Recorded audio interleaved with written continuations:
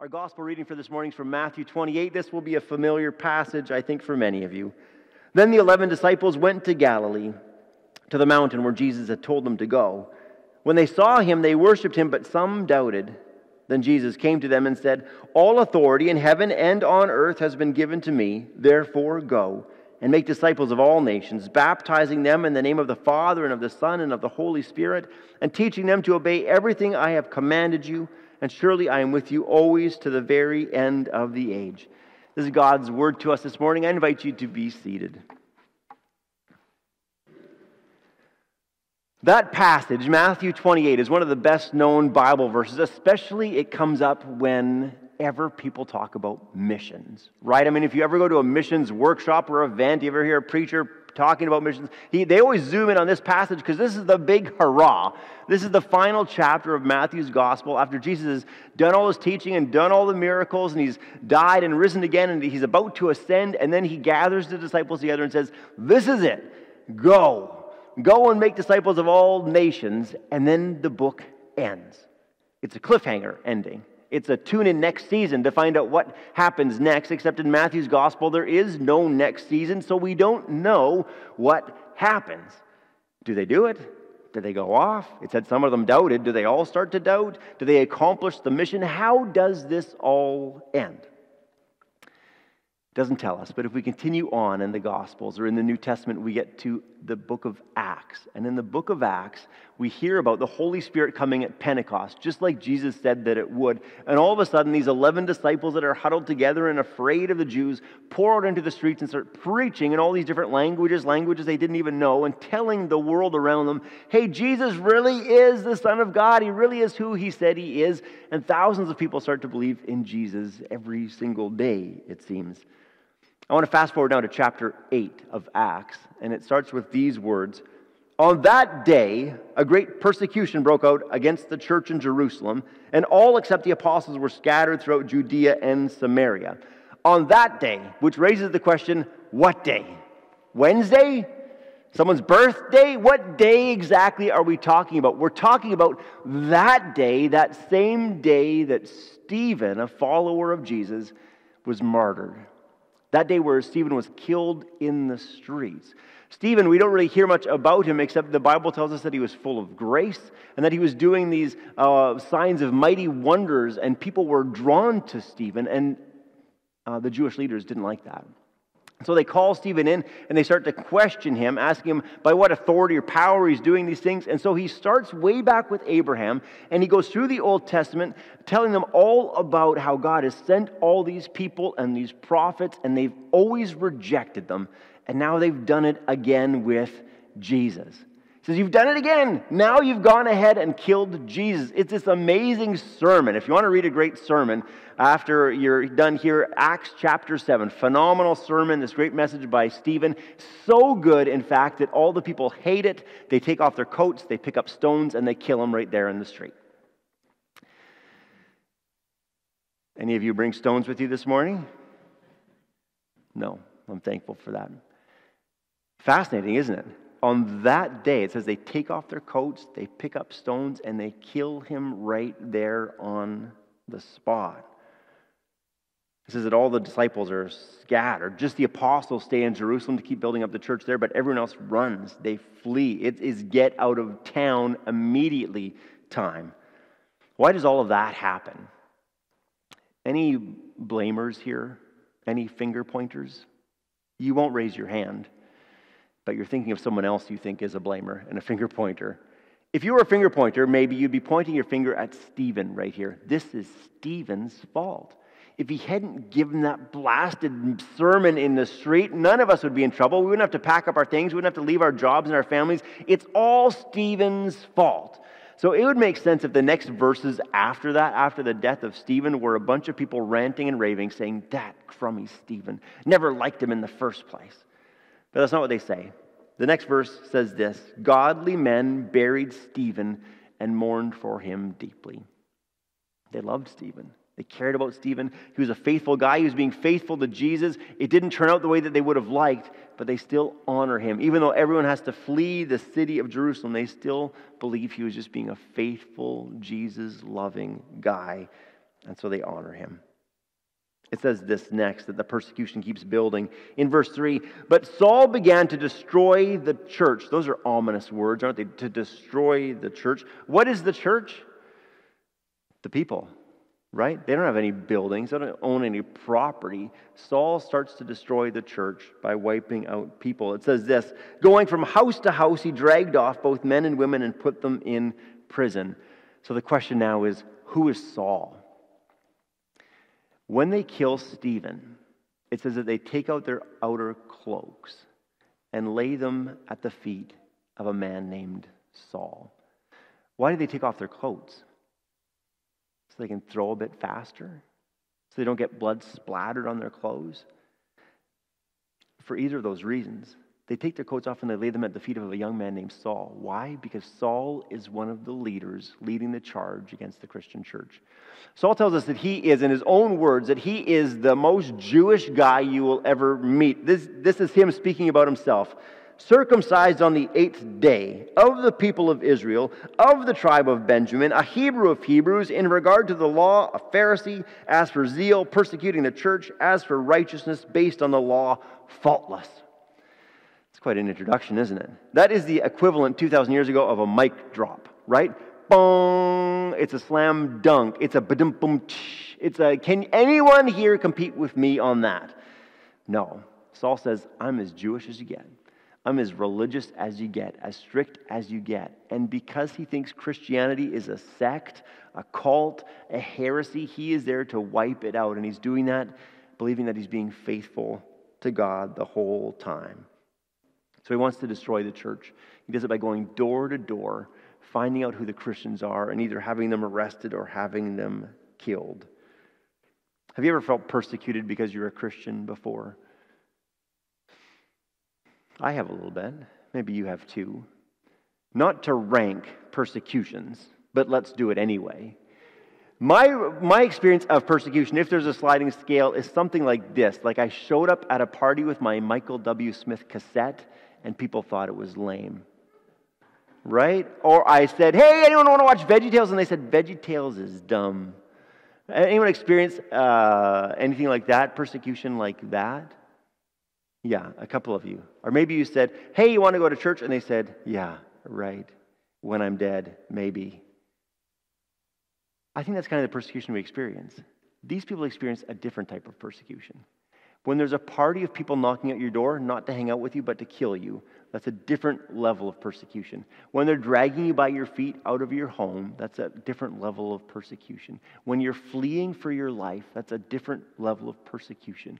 On the scale of persecutions, I think many of us have probably experienced more over here than we have over here. It's really gut check time for the early church. Are they going to keep following Jesus or not? It'd be a lot easier not to. They start dragging you out of your house and say, Hold on, Jesus. No, I don't follow him. I follow the Yahweh, right? Yahweh. Everyone likes Yahweh. I like Yahweh. Yahweh, Yahweh. It'd be really easy. It'd be super easy to turn and abandon your faith. It'd be way easier to just say, No, I'm not going to do that anymore than it would be to pack up your house and move your family to another place. I couldn't find who the author was, but I found these words that I thought were pretty significant. They wrote this There's a strange thing that happens when the church undergoes persecution and trials. One might initially think that when threats are made and imprisonment carried out, the church would be silenced and run for cover. What happens, however, is the opposite. Rather than running for cover, the church becomes bold and willing to suffer all losses for the sake of her Lord Jesus Christ. When the church becomes persecuted, that's when it becomes bold. That's when it becomes filled with courage and starts speaking out to the world around us. And that's what we see in the next verse of Acts chapter 8. It says this Those who had been scattered preached the word wherever they went.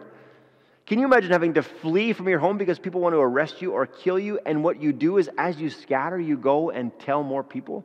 You get more excited about the gospel. You become more passionate about preaching it and telling these people as you go about Jesus. Well, that's exactly what happens.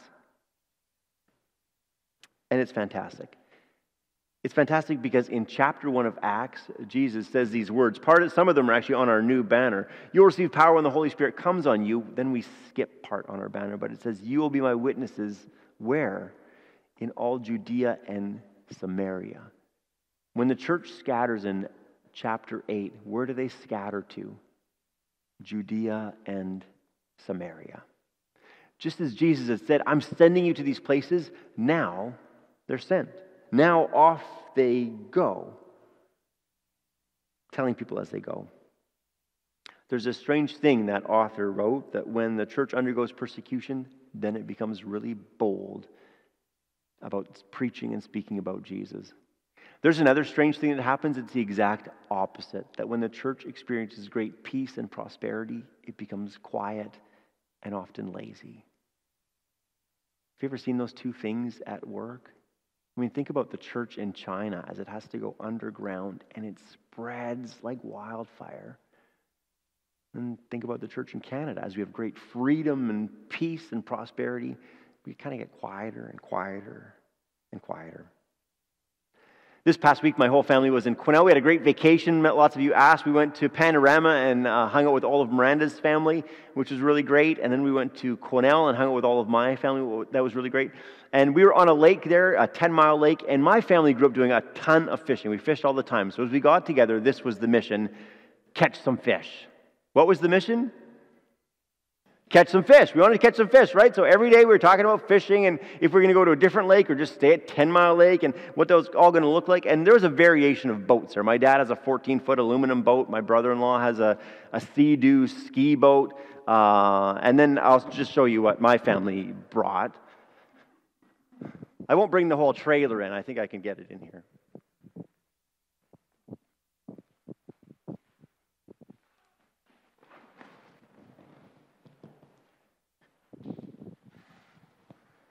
This is the Team Weems fishing boat. This is beautiful. Watch it on the back. There we go.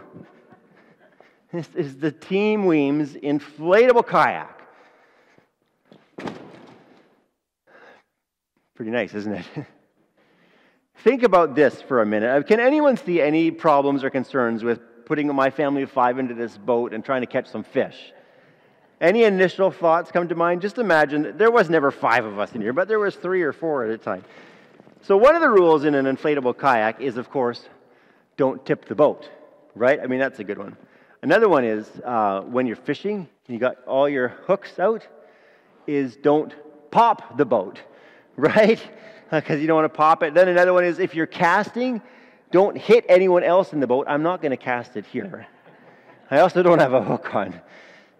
So those are some of the rules. And then a couple other things came up. For example, some days it was windy and rainy, and this in the wind just really goes for it. And if there's waves, this just really rides the waves like nobody's business. So there's lots to talk about.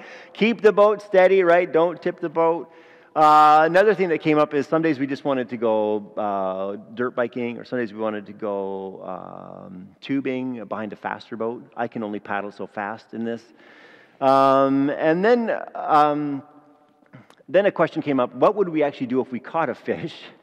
Like, how would we kill the fish? Would we bang it against the, the padded, cushiony sides, right? That would, anyway, guess how many fish the Weems family caught on this most recent trip? Any guesses? You guys have so little faith in me as a fisherman. no, we caught zero. You're right, but still, your guesses, your guesses are kind of hurtful. You know, it's interesting. I think in North America, the church has largely become concerned about not rocking the boat. Right? We've got a mission. What's the mission? Catch some fish. But we're mostly concerned with don't rock the boat. There's waves coming. There's turbulence coming. Don't rock the boat. Right? We want to just keep the boat steady. Some of you are 50 or 60 or maybe even 70 years old. Do you feel like society's changed at all in the last 70 years? Yeah, maybe a little bit. In the last 40 years? Anyone seen any changes in the last 20 years? Last five years? I think the rate of change has increased drastically. It's speeding up more and more, faster and faster away from Christianity and Christian beliefs. And I think what the church is largely doing is saying, shh, don't rock the boat. Don't say anything. Don't be like Stephen and get us all in trouble. Just keep it quiet. And the more and more things change, the more and more we get worried about just keeping everything steady. So we're just kind of spreading ourselves out and laying low until we've pretty much just disappear. right? And we kind of become, kind of just disappear and become irrelevant and unnoticeable and keep on declining. How would anyone join a church if the church has nothing to say anymore? And we just keep on saying to each other, shh, don't rock the boat. Don't mess anything up. And we keep praying to God, God, please don't rock the boat. Please don't let anything happen to us. And do you know what I think God is saying? I'm the one rocking the boat. Can you think of any times in the Bible where God rocked the boat? Heard of a guy named Jonah? Who rocked the boat? God rocked the boat, right? Or can you think about any times where the disciples got into a boat with Jesus?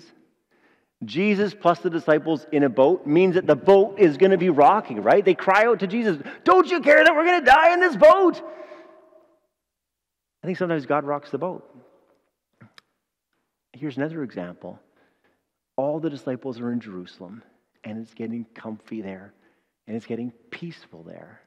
And I don't think that God sent people to kill Stephen, but I think he used that to rock the boat too. I kind of wonder if things had just stayed comfy and cozy if they would have just stayed in Jerusalem. But instead, something, someone, maybe God Himself, rocks the boat and off they go to the places where He was sending them in the very first place anyway. And I think sometimes we spend so much time saying, God, please don't rock the boat. Please don't change anything in my life. Please just let me stay comfortable and cozy in my warm little safe bubble. I think sometimes God is rocking the boat, saying, Why are you in a bubble? Why are you safe and comfortable and cozy? Didn't I send you out to Jerusalem and to Judea and Samaria and to the ends of the earth? So sometimes God is the one who rocks the boat. So we'd go and follow after him and be faithful to him. I want to read what happens next in Acts chapter 8. Those who had been scattered preached the word wherever they went. Philip went down to a city in Samaria and proclaimed the Messiah there. When the crowds heard Philip and saw the signs he performed, they all paid close attention to what he said. For with shrieks, impure spirits came out of many, and many who were paralyzed or lame were healed. So there was great joy in that city. Wouldn't it be amazing if wherever Christians went, there was just great joy in that city? Great joy because the, Christian, the Christians are here. The Christians have showed up. I mean, do people ever do that when you roll into a town? Hey, the Christians are here. This is going to be great. Maybe because they don't know we're there. Maybe because we're so quiet in our own little churches that no one ever knows. I mean, does Cloverdale even know anymore that there's this little church called Hillside? I hope so. I hope that God is continuing to rock the boat here so that we look for new opportunities and to see where God is leading us and what He's calling us to do. The New Testament changes significantly at Acts chapter 8. Through the Gospels, it's all about Jesus. And then in Acts, it becomes about ministry right there in Jerusalem. And in Acts chapter 8, the whole rest of the New Testament is about the church scattered where they went, who they went to, what they preached, what they taught them, the theology, the questions that they had, the letters they sent to encourage them and to direct them and lead them and help them build up one another in faith. It all becomes about being the church scattered, gathering more people into the body of Christ. It's pretty significant. Chapter 7, Stephen dies. Chapter 8, the church goes. What was the mission? Catch some fish, right? What was the mission? Yes, you at home, I hope you're saying it too. You know, that's the very first mission that Jesus gave to the disciples in the first place. Follow me, and I will make you fishers of men. So Jesus, if you're going to follow me, Jesus says at the very outset, if you're going to follow me, this is what I'm going to do to you. And this is what you're going to do. I'm going to make you fishers of men, and you're going to fish. You're going to catch people. You're going to stop paddling around in the lake in your inflatable kayak, and you're going to go start living out lives as fishermen and fisherwomen, bringing people into the kingdom of God. That was the first mission that Jesus gave, the first announcement he gave to those disciples. And it continues to be the mission of the church today. It continues to be the mission of Hillside Christian Church today. Our mission statement is to see people connected to Jesus, hooked on Jesus, caught up with Jesus. Those people that are right here in this room, but then also that we would go out and continue gathering other people up into this incredible kingdom. Why? So they could experience grace and transformation as we all follow him together. That's the mission of this church. That's the mission that we believe God has given to all of his church.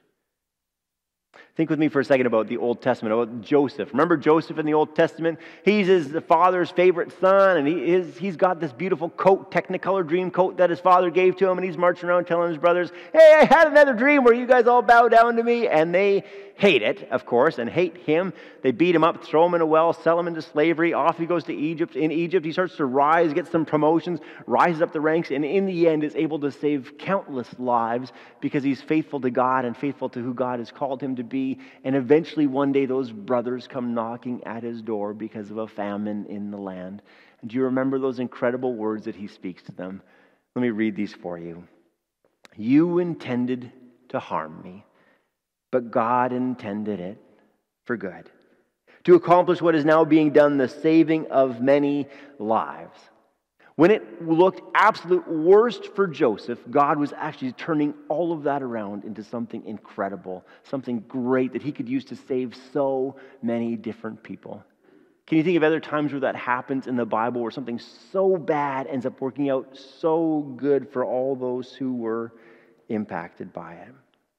Kind of like this story Stephen gets killed, one Christian gets killed, and then thousands of others end up coming to faith because the church scatters and goes to tell them. God takes something that's bad and turns it into something that is incredible.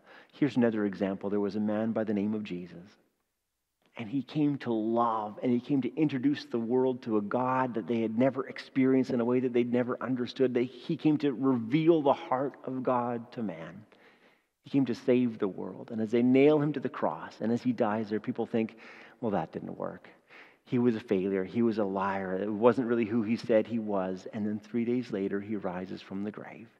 And God turns what they intended to be evil into something so good and beautiful and powerful for us, for the forgiveness of all of our sins, and for eternal life for all those who believe in him. So it shouldn't surprise us, I don't think, in our own lives, where we experience shakiness, where the boat rocks, where there's difficulties or challenges. We shouldn't say, God, you've abandoned me. We should instead maybe be saying, God, what are you saying to me? And where are you sending me? because we believe in a good God who's powerful and who has a mission, a mission to save the world through his son Jesus. And now we are those ambassadors. We're those witnesses who have been sent out by Jesus as his representatives to the world. What's the mission?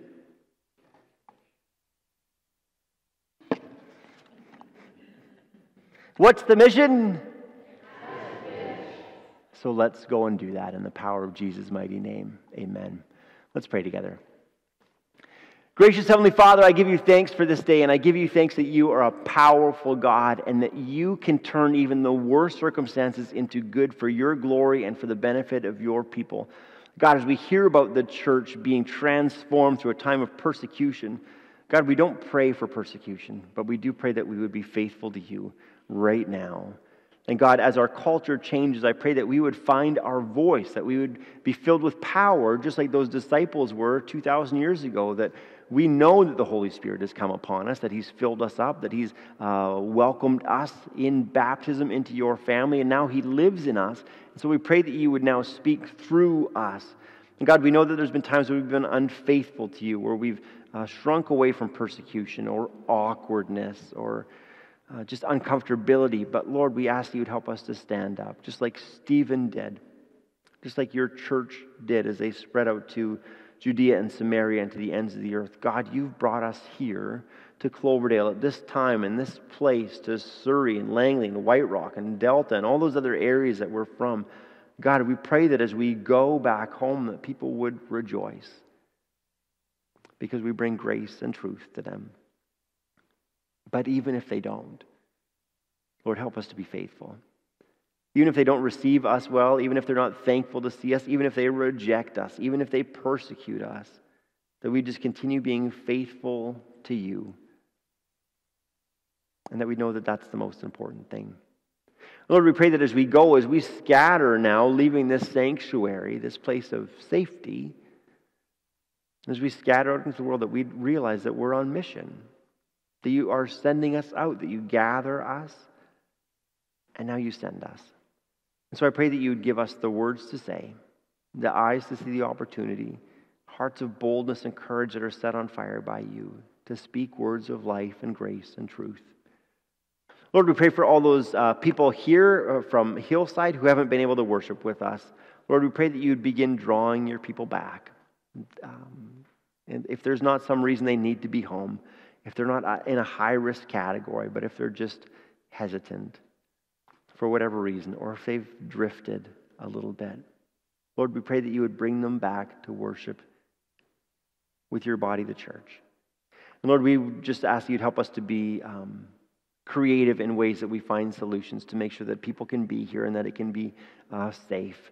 Lord, we believe that it's safer here than the grocery store or at work or anywhere else, but we pray that you just put a hedge of protection around this church and around the school and around the manor. We pray for parents and students as teachers as we head into a, the last kind of four or five weeks before school starts. We just pray for uh, all the schools around us that school would be a safe place to come and that the right protocols would be in place. And we thank you for our teachers who just invest so much time and energy into educating.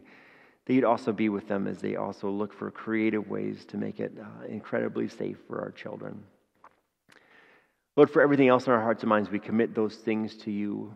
And Lord, we give you thanks for your church around the world. And we know that lots of your children around the world face incredible persecution, incredible suffering because they um, claim to be your children and they trust in you.